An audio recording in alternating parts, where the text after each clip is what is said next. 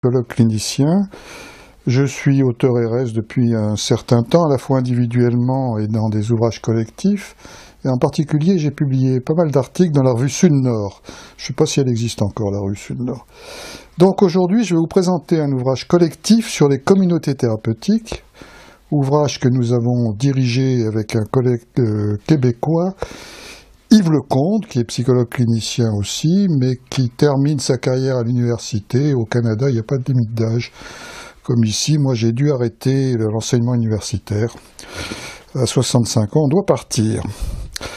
Mais notre particularité, c'est que tous les deux, on a travaillé, entre autres, dans des communautés thérapeutiques, lui à Montréal et moi à Villeurbanne, euh, à Lyon, quoi, pendant une trentaine d'années, et que nous avons été en lien ensemble, les équipes ensemble, euh, pendant ces, encore maintenant et depuis le début de ces communautés.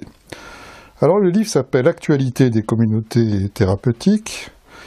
Il est euh, tiré d'un colloque qui s'est tenu à Montréal en avril 2010 et c'est un livre qui fait le point sur des expériences au Québec, en France, en Belgique, en Suisse, sur euh, l'approche psychanalytique de la psychose dans un milieu de vie que l'on appelle communauté thérapeutique, d'autres disent lieu de vie ou appartement thérapeutique, mais nous, nous continuons à utiliser le terme communauté thérapeutique.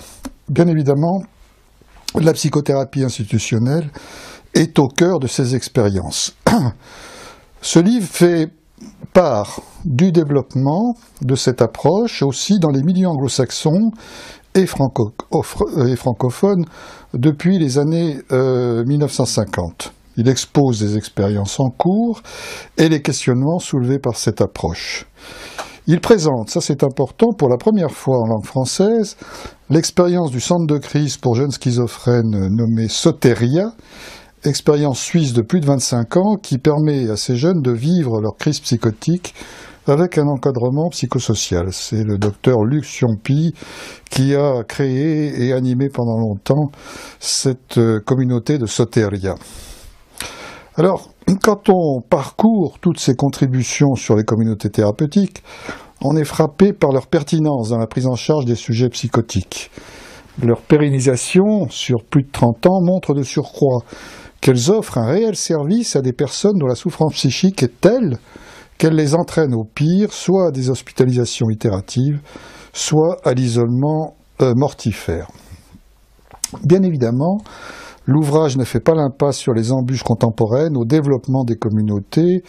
Ces embûches, vous le savez probablement, sont liées aux courants idéologiques traversant le champ de la psychiatrie qui privilégie l'approche biologique et ses traitements ou la réadaptation avec ses solutions, euh, disons, orthopédiques.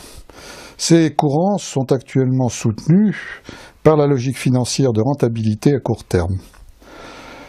Cependant, ces embûches à la création et au maintien d'une relation thérapeutique vivante vous le verrez en lisant ce livre, ne décourage pas les divers interlocuteurs de ces lieux de vie ou de ces communautés. Et bien au contraire, l'expérience clinique montre que pour les intervenants et pour un grand nombre de résidents, ces communautés thérapeutiques stimulent les uns et les autres à rechercher les conditions du maintien d'une relation dans le cadre d'une coexistence commune qui laisse à chacun la liberté de penser et d'agir.